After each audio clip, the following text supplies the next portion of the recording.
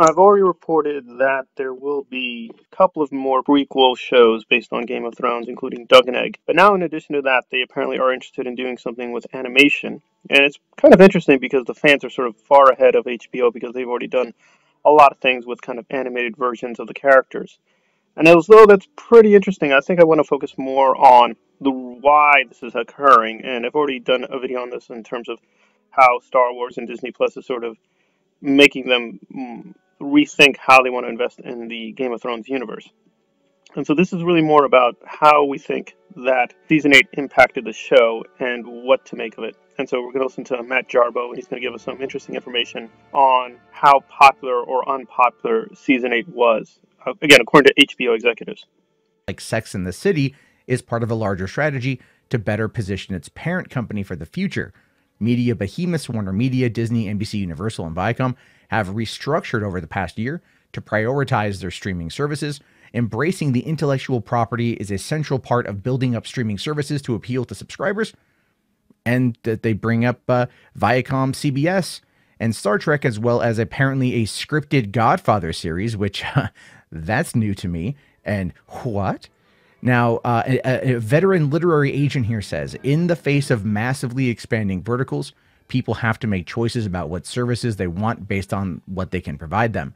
HBO Max is going to look in their library and they're going to exploit everything that they can. And we've already known about this, right? There's a reason why they're dropping uh, $70 million on the Snyder Cut. There's a reason why they're doing all of that stuff. We, we already get this.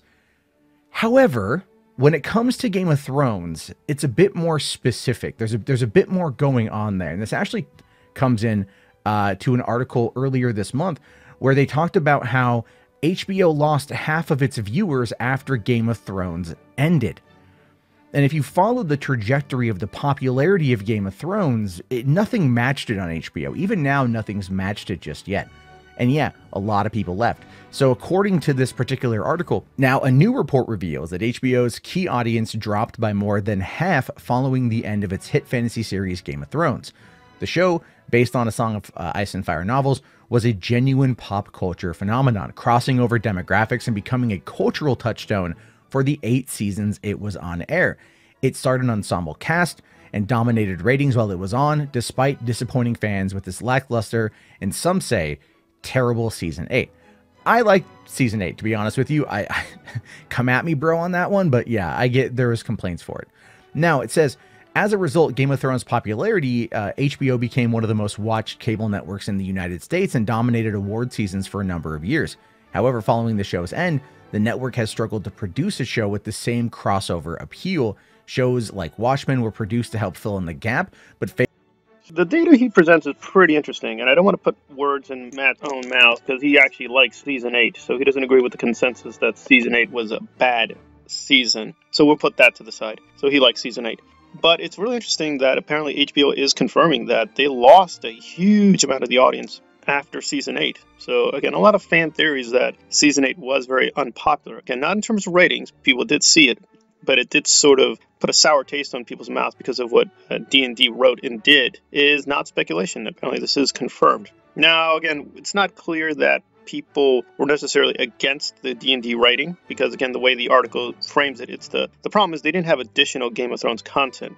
Presumably even D&D content if they continued with seasons 9, 10 and so on people would have seen things, but that their efforts to do something else like Watchmen or have other kind of branded shows really didn't do very much, and they lost a lot of uh, subscribers and a lot of viewers. And this kind of re-emphasizing the Gurmverse is their way of trying to get people back because Game of Thrones is their biggest brand, by far, even above The Sopranos, you know, or the other shows. So it's kind of an interesting way to think about these things that, on the one hand, they only a couple months ago, as I reported, really seemed to not care, and they actually have decided not to do the Naomi Watts prequel series, but that may change now because again they've already paid for the pilot, so they may in fact go back and rethink maybe it's worth it for them. And they've already begun casting for House of Dragons, and they're going to begin begin shooting soon. So it's an interesting mixed bag, and it's unclear that this is ever really a part of their deal with George because while there were a lot of prequel shows that were being floated about, I don't think I've ever read of any animated show